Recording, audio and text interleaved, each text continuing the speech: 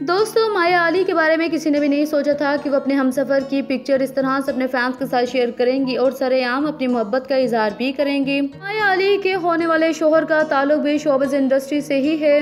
लेकिन चाहे वो शहरियार मुनवर हों चाहे वो उस्मान खालिद भट्ट हों, उन्होंने अपने रिश्ते को लेकर इन दोनों के साथ कभी भी खुलकर किसी के सामने बात नहीं की। और अब जब माया अली ने अपनी मोहब्बत का इजहार तमाम तर लोगों के सामने किया है तो लोगों को काफ़ी गहरा झटका भी लगा है। हाल ही में माया अली और बिलाल अशरफ को लेकर सोशल मीडिया पे काफ़ी ज़्यादा अफवाहें गर्दिश कर रही थी कि ये दोनों रिलेशनशिप में और एक दूसरे को डेट कर रहे हैं और बहुत जल्द शादी भी करने वाले हैं, मगर किसी ने भी इस बात पर यकीन नहीं किया।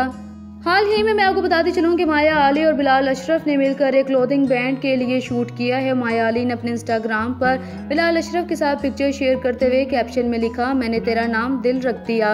जिसको देखकर फैंस हर तरफ़ ही ये सवाल उठाने लगे हैं कि वाकई माया अली और बिलाल अशरफ एक साथ हो गए हैं और वो बहुत जल्द शादी करने वाले हैं। ये नहीं मायाली ने इस बारे में खुलकर अभी तक कोई भी बात नहीं की है कि क्या वो इनसे शादी करेंगी या नहीं। लेकिन माया अली ने अपने फैंस को हिंट ज़रूर दे दिया है कि वो आजकल इनके साथ रिलेशनशिप में और हो सकता है कि वो बहुत जल्द इनके साथ शादी भी कर लें। दोस्तों, आप सबको क्या लगता है कि माया अली इनके साथ जल्द शादी करने वाली हैं ये नहीं? हमें कमेंट सेक्शन में बताना ना भूलिएगा। मिलते एक नई वीडियो के साथ। तब तक अपना ख्याल रखिएगा। बाय